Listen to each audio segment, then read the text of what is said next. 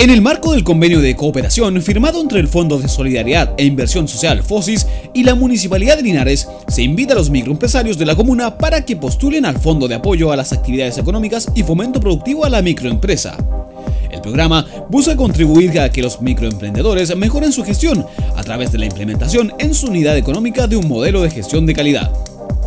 Para ello, se debe cumplir con el perfil de microemprendedor y trabajador por cuenta propia y poseer un puntaje en la ficha de protección social entre 5.000 y 8.500 puntos, formalizados ante servicio de impuesto interno o informales con disposición a formalizar su negocio.